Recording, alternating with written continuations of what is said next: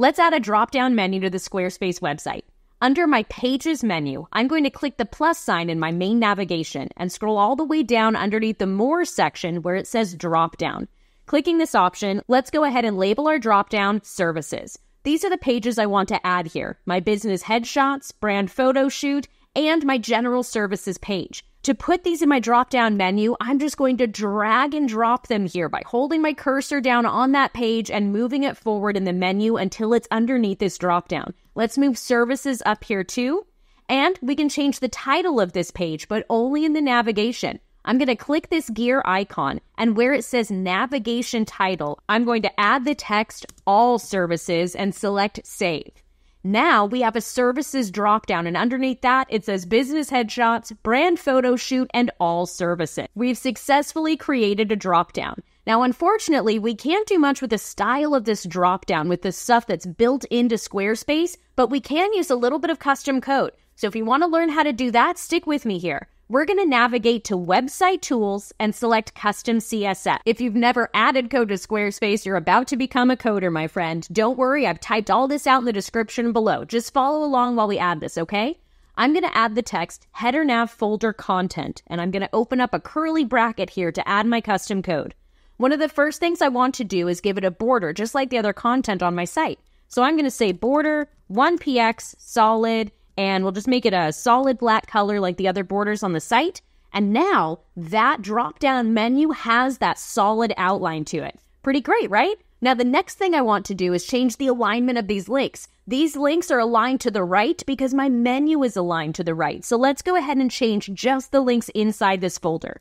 I'm going to say text align center, exclamation point, important. I had to say important because we're overriding the code that's already there. And now it's aligned in the center. And you know what? Let's go ahead and align it to the left. We'll go ahead and change that. There we go. Now, the last thing I want to do is scoot this menu over. Right now, it's directly underneath services, but because I've changed these links to be on the left, I think we should scoot this menu over. Let's go ahead and add a new line and let's say margin right negative 100 px. That's going to pull it over to the right hand side of the screen, and there we go. Now, this number is going to be completely different for the size of fonts that you're using and the amount of content in your dropdown, so definitely play around with this value until it looks perfect for your own unique website.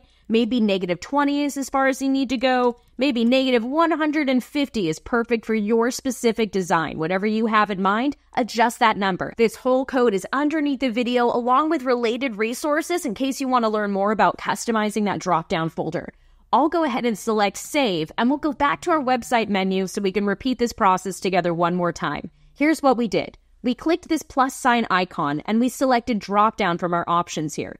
That created our drop down menu we labeled the drop down menu services, and then we dragged pages that were here in the not linked section all the way up into services. See how I'm clicking and dragging these around? We also renamed our old services page All Services. To do that, we clicked on the gear icon and we changed its navigation title to All Services. I'll go ahead and select Close. That's how we created a drop down here inside our Squarespace menu. Then we hopped into Website Tools, custom CSS, and we added a little bit of code to change the style of it. We gave it a border, we aligned the links to the left instead of the right, and we pulled it over to the right hand side of the page so it was directly underneath services. Totally optional, but a fun way to customize your Squarespace website. You'll find more information about customizing this dropdown with code in the related resources underneath this video. I'm Becca Harpain, Squarespace expert and creator of InsideTheSquare.co. If you liked this tutorial, you are going to love my blog. I have hundreds of free tutorials just like this one waiting for you at InsideTheSquare.co. That's InsideTheSquare.co.